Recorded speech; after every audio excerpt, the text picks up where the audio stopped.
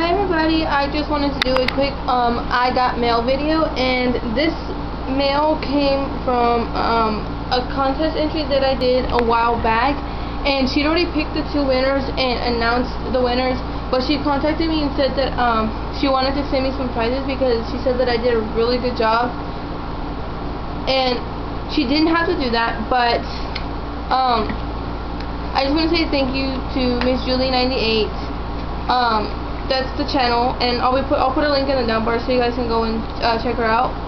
Um, so it came packaged like this. Somebody opened it, and it came bubble in like bubble wrap. So let's get started. Okay, so the first thing was I took it off, but it's a Maybelline um, shadow pencil, and it looks like this and it's in bolts of blue and it's just like a really light baby blue color. It's really nice and it kind of like you can kind of see it right there because it kind of melted a little bit but it's okay because it's really hot where I am so yeah. Oh, sorry.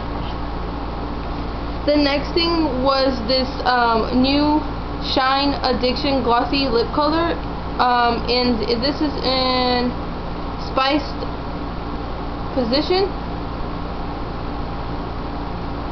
Yeah, spiced position, and it's kind of a pinkish, brownish looking color. It's really pretty. The next thing is this L'Oreal Hip Lipstick, and this is in Moxie. She's like a really um, pinkish looking color. The next thing is the Sally, I mean not Sally Hansen. It's a Maybelline Salon Finish Nail Color, and this is in Orchid Red Cream, and it's just like a red color.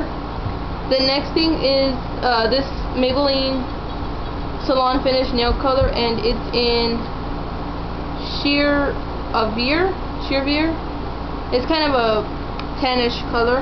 And the last thing is this CoverGirl eyeshadow, and it's in Opal Dust, and it's kind of a purple color so that's everything I got.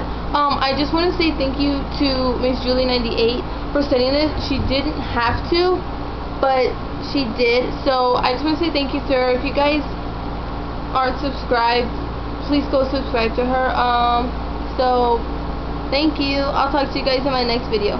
Bye.